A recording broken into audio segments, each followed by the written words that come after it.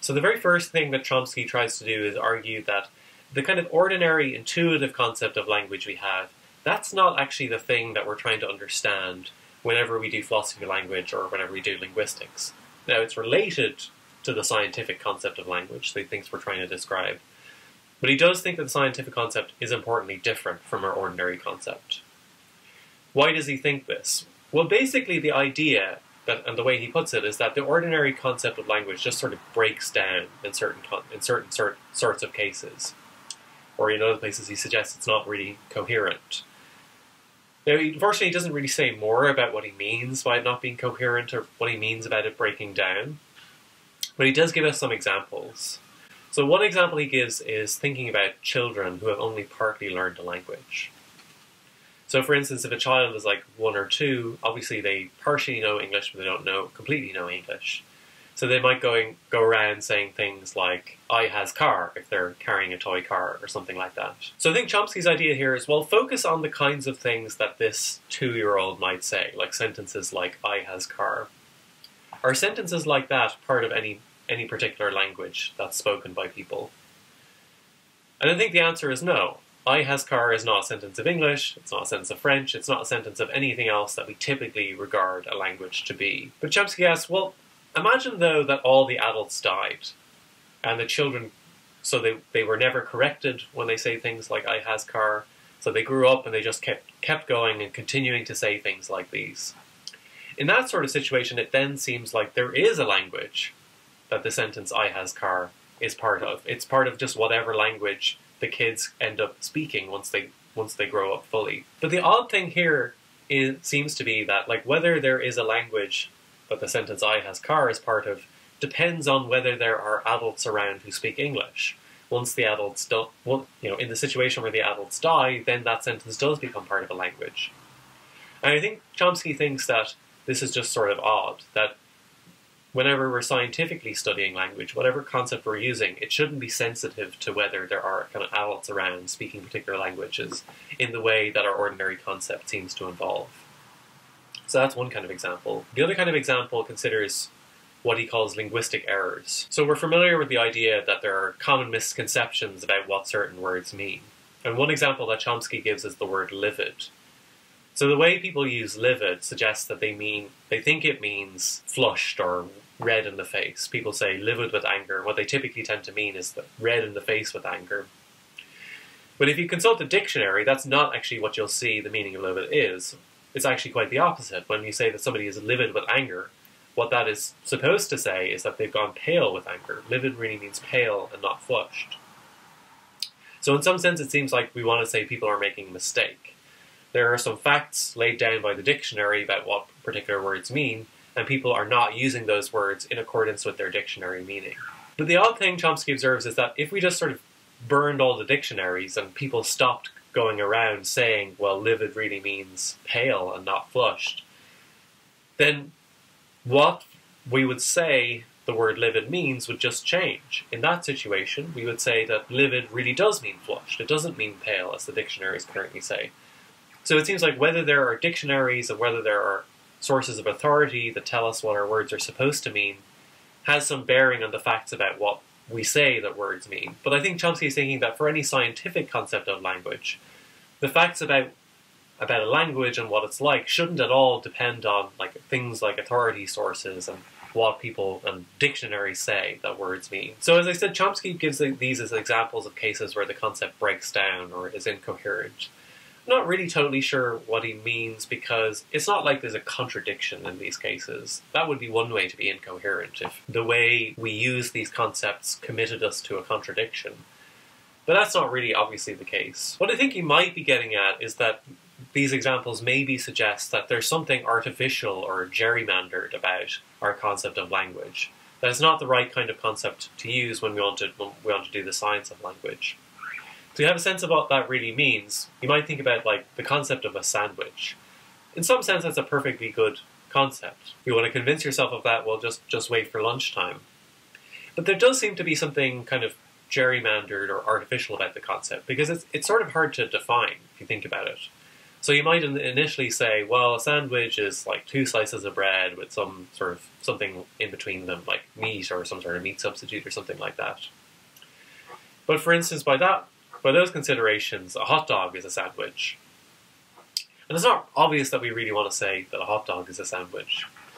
Now, you can sort of continue this game and try to give a definition of a sandwich, and there are always these sort of edge cases that sort of seem to defeat it. And you might think your reaction here is that, well, the, the concept of a sandwich, it's perfectly good for our purposes, for like when we want to eat something.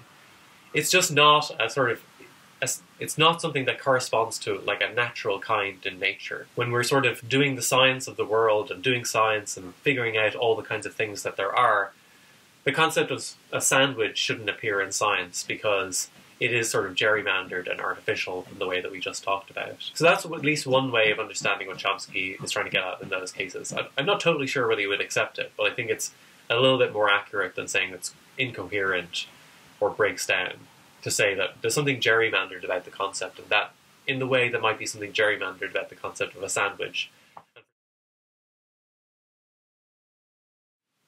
So he thinks really what we need to do is introduce another alternative scientific concept. And again, to see what he's really getting at, it might be helpful to think about an, an analogy. Now, this isn't an analogy he gives, but I think he might be happy with it. So if you do basic Newtonian physics, you start learning all about forces. And forces are kind of they're a theoretical concept. We don't before Newton came along, we didn't have the idea of a force. Now, the concept of a force is related to some intuitive concepts that we have. That's kind of precisely how we're able to understand it in the first place. But the idea of introducing a concept like force is sort of to replace some ordinary concepts we have with a more precise version that we can use to do science. It's not like we're taking our our ordinary notions of things like forces and using that to do science. We introduce this, this new sort of precisified version, and that's the object of study. And I think that Chomsky would say that's basically what we want to do with language as well. We see that there's all these sort of weird edge cases of imprecision in the concept of the ordinary concept of a language. And so what we need to do, just like we often do in science, is introduce a new, more precise concept and study that instead. We're going to talk more in the next video about what exactly that concept is because there are two main candidates, Chomsky thinks, for what it might be.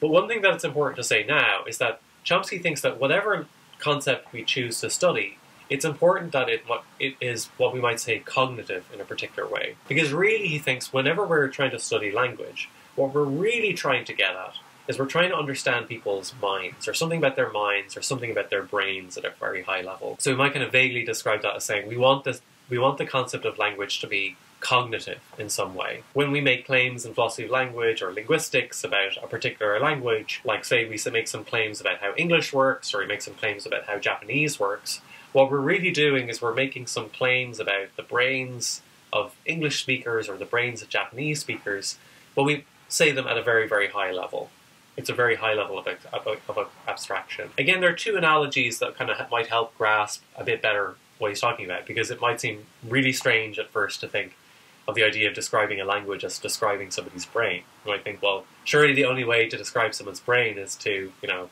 open up the brain and look at it under a microscope or something like that. And clearly that's not what we're doing when we're doing philosophy of language or linguistics. We haven't dissected any brains in this class for sure. But the right way, I think, is to think about it like this. So think about your computer. Your computer is a, is a, is a physical object, and various physical things happen in the computer. Electricity enters the computer, it works in the, chi- in the chip in the computer in a certain way, and that produces various results. So we can describe the computer at a very at a very low level, like what physically speaking, like what's going on in the chip, what kind of electrical currents are going through the chip, uh, and things like that. But that's not what people spend most of their time doing in computer science departments. What they do in computer science departments is they talk about programs that the computer runs. They write programs and code that give the, the computer instructions to do various things. And when you think about a computer running a computer program, you're describing what the computer is doing, you're not giving like a, a, a, physical description of what the computer is doing. You're not saying like what the various molecules in the chip are doing, something like that. But nonetheless, if you describe, if, if a computer is running a particular program and you describe what it's doing at any particular point in time, you are saying something, albeit at a very high level, about what the computer is doing. You're saying something about the computer, even if you're not talking about it in the, at the lowest, most physical level. So just to kind of sum all that up, we can try kind of draw a picture. So let's start by drawing a picture of like the laptop.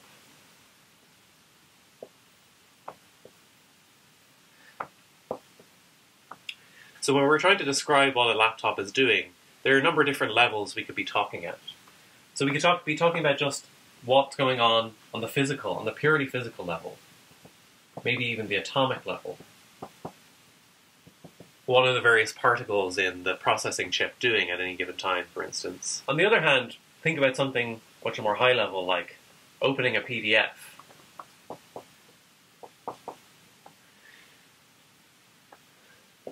If you want to describe what a computer is doing when it's opening a PDF, well, the thing you don't do is you don't go and say, well, let's look at the chip or the atoms in the computer and see what they're doing. That's not the way we describe what a computer is doing when we describe what it's doing when it opens a PDF. We're really describing it at a, at a much higher, more abstract level. And Chomsky is kind of thinking that the same thing will go for brains and for language. So we can think about the human brain, and we can give a sort of purely physical explanation, a very low level explanation about what's going on with the neurons, or what's going on with synapses, or other things like that that us philosophers don't really understand that well. That's one level we could be trying to describe what's going on in the brain. But on the other hand, just like the computer, we could instead be describing what it's doing at a much higher level. So just like when we describe a computer as opening a PDF, we're talking about it at a higher, more abstract level. When we when we're trying to understand things like understanding sentence or producing a sentence,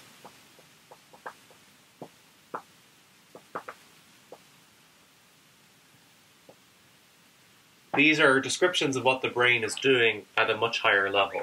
We're not making it directly making a description about the neurons or the synapses, just like when we are describing what's happening with opening a PDF, we're not talking about what's going on in the computer chip per se. So insofar as we're describing the brain, it's at a very abstract level, com- comparable to the way that we might be describing a computer when we talk about a computer opening a PDF or something like that. And I think Chomsky would would agree that when we say things like when we study English, we're saying something about the, the brains of English speakers. Those kinds of descriptions of the brains of English speakers are like the descriptions of the computer when we're talking about how it's running a program. They're very quite they're really quite abstract.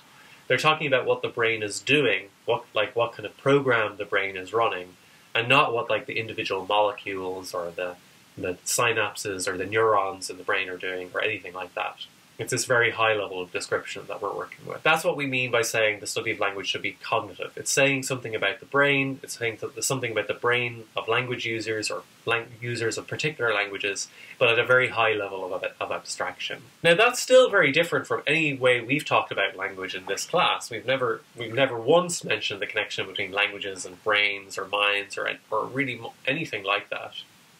So you might think, well, given that that's not how we've been approaching language at all so far. You know, why should it be so important? Why does Chomsky think it's so important to approach language cognitively? Surely he should try and convince us that that's the right way, right way to try and approach it. And I think basically Chomsky's argument here is this. Because if we look at nature, we think about languages.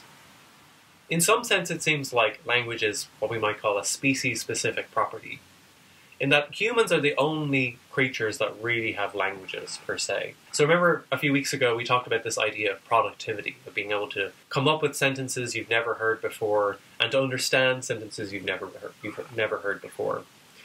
We can do the same thing grammatically. We can construct grammatical sentences that we've never heard before, and we can understand grammatical sentences that we've never heard before. That kind of property doesn't exist any with any other creature, as far as we know.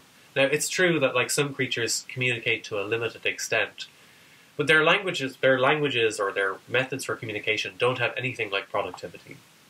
Productivity, compositionality, these things which we've been talking about a lot in, in this class, are really central to language as humans use it. And human languages really seem to be the only ones that have these properties. And so the natural idea is, well, if this is the if we're the only creatures that can do this, if we're the only creatures that can have productive compositional languages, there must be something special about us, and in particular, there must be something special about our brains that allows us to do this. There must be something that all other creatures lack which explains why they don't have productive compositional languages while we do. And I think that's the feature that Chomsky thinks ultimately we really need to try to explain at some level. Why is it that, what's special about humans? What is it about us that allows us to have language in this very rich sense, where languages are productive and compositional, and means that other creatures don't? So that's, I think, why Chomsky thinks that like, we should, whatever the scientific concept of language is, it should be cognitive. Because really the most interesting thing here is this species-specific property of language that we have. Okay, so that's sort of the first step of Chomsky's general argument completed. He talked about this idea of the ordinary concept of language and said it sort of seems to break down in certain cases. My way of trying to clarify what that means is that maybe the concept is sort of gerrymandered or artificial in a way that means it's unsuitable for use in science, or unsuitable for use in the scientific or precise study of language. And that kind of idea of replacing an ordinary concept with a theoretical one there is definitely precedent for that. That is definitely something that does seem to happen in science. And then the last thing we said is, whatever, whatever that theoretical concept is, whatever the replacement for the ordinary notion is that we use to do the science or the philosophy of language, it should be cognitive. Whatever concept we pick, it should be such that we can sort of give an explanation at the end of the day why language is specific to humans, why it's only human brains that have the ability to learn productive compositional languages.